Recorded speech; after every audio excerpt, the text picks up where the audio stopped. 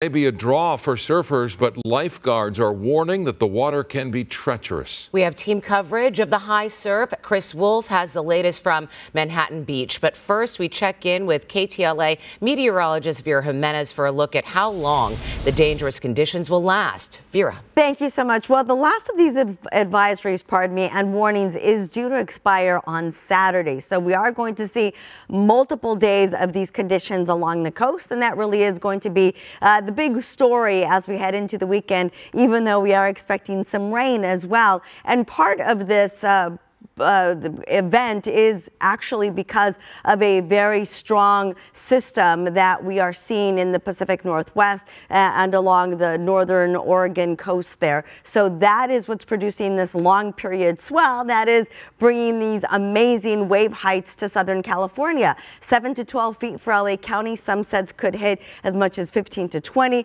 along the Ventura County coast. The average wave height there will be somewhere between 10 and 15 and some sets there may also hit 20 and even Orange County 6 to 12 feet. Extremely dangerous and life-threatening rip currents and also some flooding. The National Weather Service was also talking about the possibility of some damage, structural damage to like piers and also to uh, along the jetties there. So please be extra careful. Uh, if you do go out and look at the waves, remember never to turn your back to the Pacific Ocean, especially when you um, are talking about waves that are this big. Uh, we'll take a look at the rest of the numbers and, of course, the rain that is heading our way in just a few minutes. For now, back to you guys. Thank you, Vera. The high surf is expected to draw large crowds to the beach, but whether you're in the water or just watching the waves, lifeguards are urging extreme caution. KTLA's Chris Wolfe has the latest from Manhattan Beach.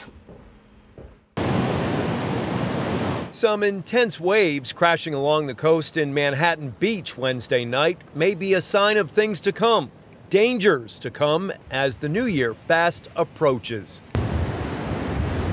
The National Weather Service is warning several communities along the central and southern California coast about potentially destructive ocean activity. Experts say beach conditions will become extremely dangerous during the next few days, with high surf, life threatening rip currents, possibly damaging coastal flooding and significant beach erosion. Los Angeles, Ventura, and Santa Barbara counties are on alert. Waves 15 to 20 feet high could be hammering the shoreline starting Thursday. People are urged to stay out of the water because of an exceptional risk of ocean drowning. Is your family aware of this this high surf advisory? Huge waves expected tomorrow for the next few days. Yeah, we're all excited. How so? 15 to 18 feet is crazy. We haven't seen it in a year. Well, maybe not years, but like a really long time. And are you excited about watching this, but you're not going to get in the water, are you? I don't know. I was thinking about it, maybe not. I think watching it is safer. If you go under the waves, 15 to 18 feet, you're going to be like ragdolled.